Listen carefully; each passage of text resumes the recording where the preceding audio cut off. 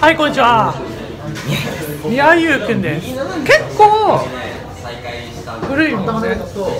そうですねまだお子さんだよね。原宿の頃にお子さんだは。いでその時は狐さんだったんだよ。そうなんです狐のはなんで顔出しちゃったんですか？いやっぱ世界が広がるなと思ったんですよね広がったんですか。広がりました広がりましどんな風に広がったんですか。たもういろんなところに顔出していけますしやっぱファンからも声をかけていただける不安が。不安が世界中の不安不安がいるんですよ不安いっぱいいそうですよね。まあでもそそういうところにすごいメリットというか若そうですもんね。うんめぐみさんいやだってこうこれ見てリスナーさん見てこれ絶対お母さんと息子だよねこれこう見るとにあのなんか参観日に来たお母さんってなって。るいや母さんだったらよかったですけどね。こんなお母さんがいいんですか？いや全然いいですよ。またまたいやあのごますんなくていい。ディスってくれていいディスってもっとグイグイもうグイグイグイグイ来ていいですよ。グイグイ来ていいですよ。そうなんですか？ああ私あのー、キツネさんとお話ししたかったんだよ。ああでもなそうないいや結構話してるんですけど。そうなんです。あ まあでもなかなかそんなに。合わして合わして。口読めなくてすいません。最近どんな動画出してるんですか？今もグラセフっすねグラセフ好きですか？まあもうずっともう3年あのハゲ親父なんでしたっけ？ハゲ親父。なトレバーですか？トレバートレバー。やっぱトレバー一番かっこいいっすよね。あそうですね。最近あのあのトレバーを全裸にするモットー入れたんですよ。え？おお前お前ちょっともう一回言ってみろ。えでそういう趣味が。いやいやそういうわけじゃない。いやあいや。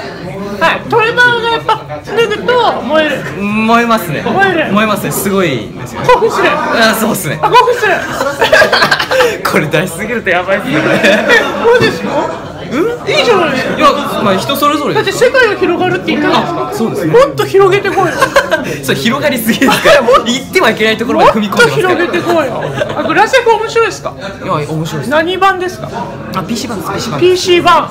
モッドが入れ放題だと。やりたい放題ですよ。他になんか PC でゲームやってますよ BF とかですね BF なんそんな高価なものばっかりですか？いやいや。ちょっとええエロ系のゲームとかやんない？ですか系はやらないっすね。本当ですか？私そっちばっかやってるのになかなか手が出しづらいんですよね子すみませんね、これ、宮優ファンの皆さん、あの、この、このおばさんが絡んじゃって、本当にね、あの、宮優ファンの皆さんに、さ先に謝罪しておきます。た、ただのおばさんですが、あ、ぽったこ、おばさんがついつい絡んじゃった感じで、なんか若いエキスもらおうかなと思って。そうですね早く足が治るようにとあ、なんで知ってんすか？いやいやもあう昨日からもう様子を伺っていましてあ、ちらちらと。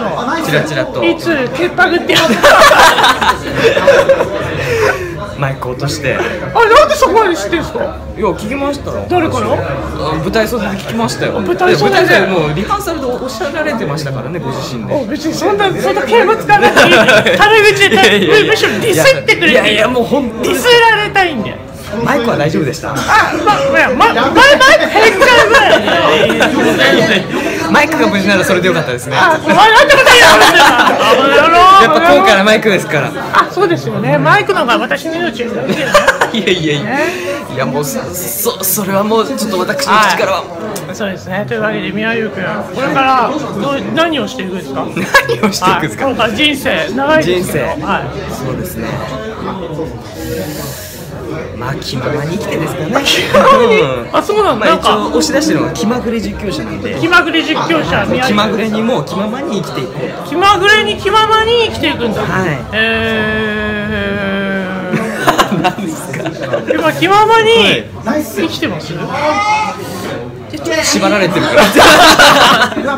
そうですよね。まあでもそれも自分が選んでいった道なのでね、はい、ということでね、えー、ビアユー君、ちょっとお話ししたかったんで、えー若いエキスをね吸い取ろうかと思ってね。ちょ今日ユーフェスはちょっとそ吸い取られちゃったんで誰にめぐみさんに。誰ですか？そんなやつがいるんですか？